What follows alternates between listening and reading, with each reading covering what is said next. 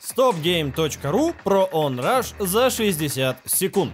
Погнали! Главное, что надо понимать, это не гонка. Это дерби, которое поставили на рельсы адреналиновых кольцевых заездов, где заставили две команды дубасить друг друга. И плевать, первый ты едешь или последний, если сильно оторвался ото всех, телепортируют в самую кашу и все. Так что побеждает самая агрессивная и показушная команда, а не быстрая. Есть пачка разных классов транспортных средств. У каждого свои фишки и способности. Например, мотоцикл умеет крутить сальтухи и прочие трюки, а внедорожник ставит воображаемые стены во время активации ульты. Да, ульта тут есть, как и шкала нитроускорения, пополняющаяся за любое движение. А еще тут, кстати, очень клевый саундтрек. Короче, игра прям сконцентрирована на том, чтобы все весело бодались и толкались, но постоянный экшен и мельтешение могут быстро утомить. В остальном веселая аркадная машинная месилова с необычным концептом. Не факт, что его хватит надолго в глобальной перспективе, но в отсутствие свежих частей Flatout, Motorstorm и каких-либо наследников Insane должно быть годно. Так ли оно, узнаем уже 5 июня. А на этом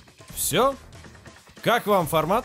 Лоев на полтора только, да, да, да? Пишите в комментариях, что думаете об эксперименте. И до встречи на Стоп Гейм Ру.